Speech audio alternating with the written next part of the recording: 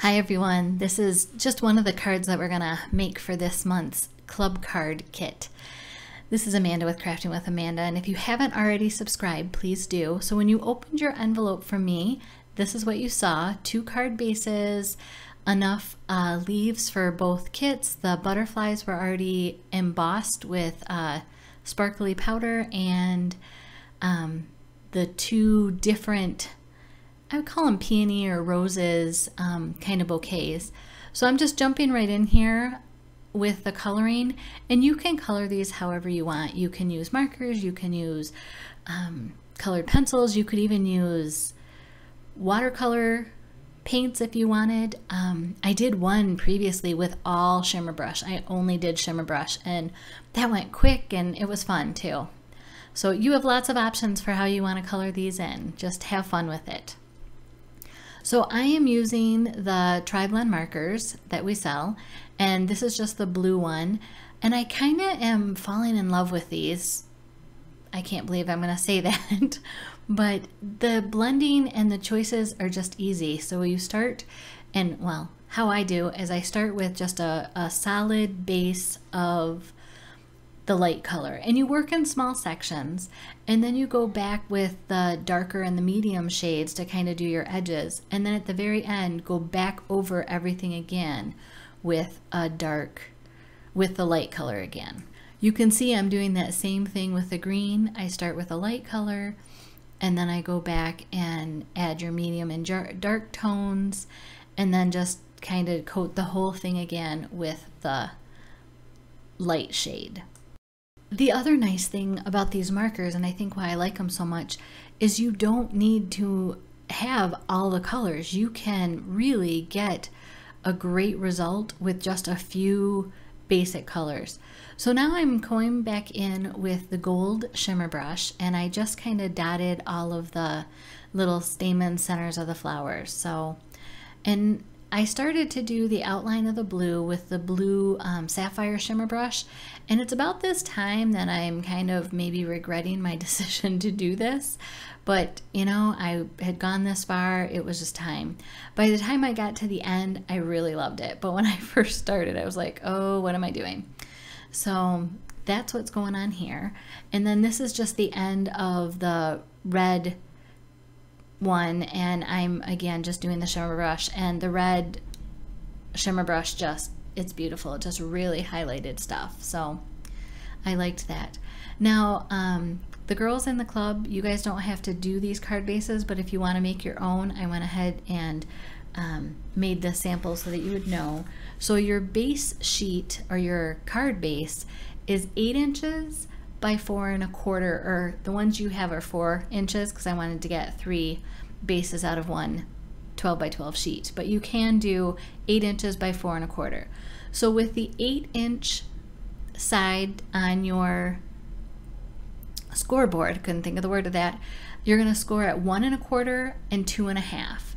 And then I turn it around and score at one and a quarter and two and a half. And the reason why I do that is I find if I do one and a quarter, two and a half, and then go out to, you know, six and a half and um, five and a quarter, that they don't always fold even. Where if I do one and a quarter, two and a half from, you know, both sides, I tend to not make mistakes and it just works out very evenly. So, and you're going to fold the the bigger flap to the center and then fold, you know, counter fan fold back the edge.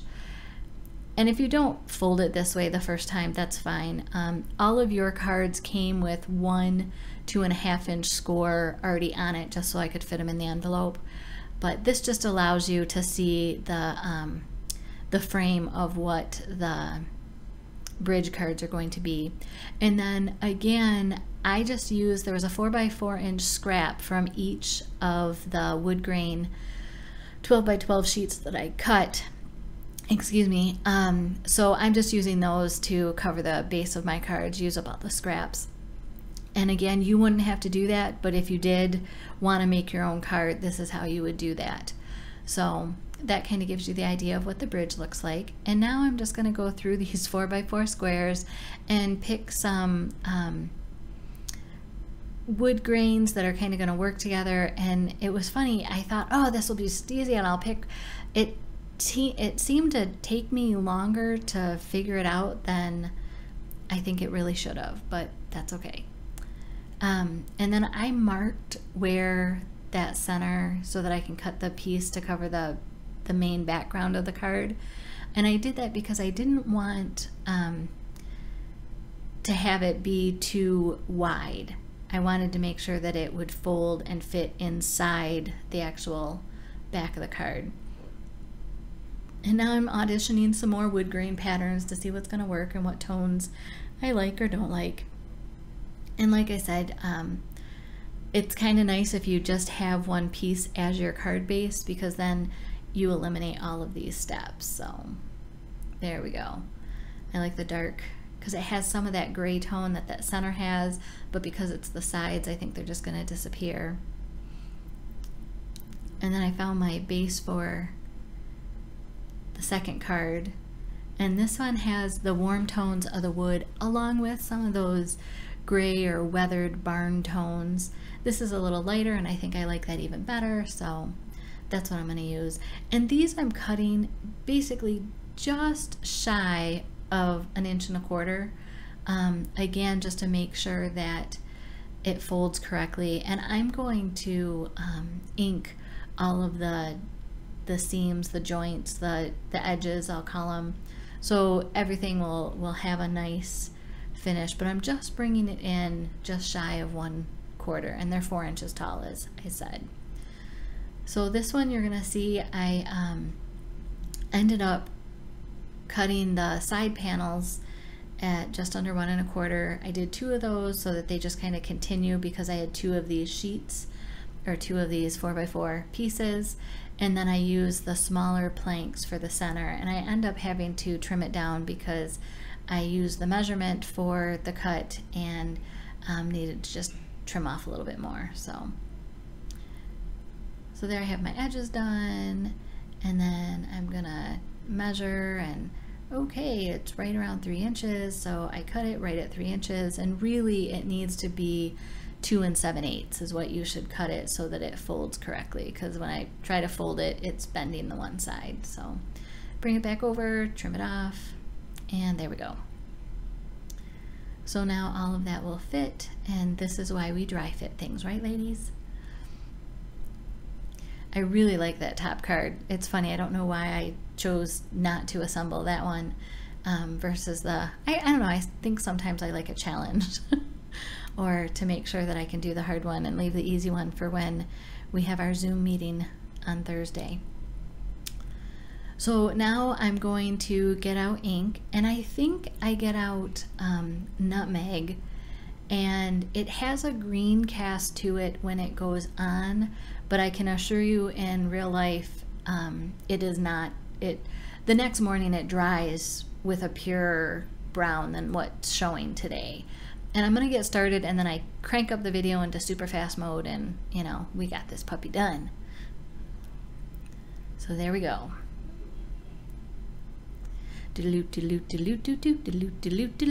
Isn't that what it kind of feels like when you're going this fast through the videos?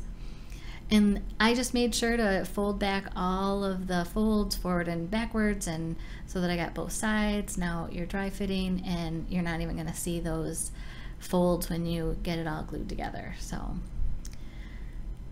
quick assembly. And again, I just, I fold it when, um, every time I glue something down just to make sure that it's gonna, it's on there correctly. And I really like how that base turned out. So now I'm auditioning between the darker wood grains and the lighter wood grains of do I want the blue on this one or the red on this one and I go back and forth for a little bit and then ta-da I make my decision. So if you have an opinion you can now you know know what to do for your cards because I made my own decision and then I'm going to jump over here. I found this hello in just one of the stamp sets that I had here access to in the house. As you know, I don't have access to much of my stuff with it, with the construction and everything in the garage. but um, I'm just going to tone down this whole hello and I wanted to make sure that the color is something that I wanted to do so I was just testing it on the back and then like I said I'm just toning down this hello there is if you happen to be a, a subscription member for the cards there's a great hello image in there I don't remember what it says for sure I think I have that stamp set right here oh, it says hello there and it's in a script and it's the perfect size, so it would work too. All right, so now you know how to dry emboss and shape some of these leaves. Just take your embossing stylus, and this is the back of my Versamat, and or you can use just foam, you know. And we're just kind of pushing the steel ball that's at the end of the stylus and curving the leaves to just give them a little dimension. I was talking, I'm guessing, to a kid right there. So this process, it's kind of funny. I, I stop and talk and and then get back to work and then they come in again. So, and you're going to do that to all the leaves. I'm trying to skip through this because you guys can pause the video if you need to. And again, I'm guessing here that I'm having a conversation with a kid. and I thought I had edited this part out, but apparently I had not. So this is where I'm just trying to figure out where, how I want to place my flower and it just needs to be attached to both edges and you can tilt it however you want. Um, the blue one has a more flat bottom. This one, you like I said, you can um, put more leaf on or less. It really doesn't take much to get it to stick. So I just take this uh, score tape and rip off some pieces and put it just on the edges of the leaves. And I think here is when I realized, no, I really need a triangle. So I go ahead and just cut this from one corner to the other to get some nice points for um, sticking to the back of the rose. And I apologize that I'm off screen there. We've been bumped in and out of our my studio and I've been on a card table in the bedroom with Gerald and so I, it's just, I, I do apologize that I'm more off screen doing some of this than I really wanted to be. But we will eventually have a kitchen and two baths and flooring and no holes in the wall and hopefully a studio that I can begin to set up and be more stable in. so I'm just taking the paper tape off the back of the score tape and then I will make sure that it is adhered just to the one side. So you flatten it out because this is what allows it to mail in a standard envelope. And again, I'm totally off screen, but what happens is you end up flipping that image. You can flip it over, like if you opened it to the right based on what you see here now, the flower is upside down and then you can add your little bit of glue. And I just turned it so that I had more access and you know apparently so that I would be completely off camera. So again you just hold it flat so that the flower part the front of your card um, lays flat for mailing and after you get it adhered and I get this paper off because apparently um, the paper is winning at this point. um, I will make sure that there is not going to be any glue onto the side walls of the bridge card. And it looks like we did a pretty good job there because it's standing up. Not that you can see it yet, but you will. So there it is. Yay! um, and I, I love just the richness of this, just like that. It, you know, you could just do something just like that. So then this is the butterfly. And in the, my original card, I had tucked it down inside, but my greeting I think was a little smaller. And um, so before I decided where to put it, I'm like, oh, I need a color for this. And I was thinking purple because I did some purple berries next to the red, but then I was afraid it would be a little too um, hard to see with the wood grain. And long story short, purple it is. and you turn your vellum butterfly over and just color the background. And it's that simple. And it's so forgiving. Um, just color it in, the embossing lines that are on the front with the glitter will still be there because you're not doing anything to cover those at all. And this is just the easiest, so easy to, to get this wow. And this is butterfly is from the Chelsea Gardens card making kit that a lot of us did years and years ago.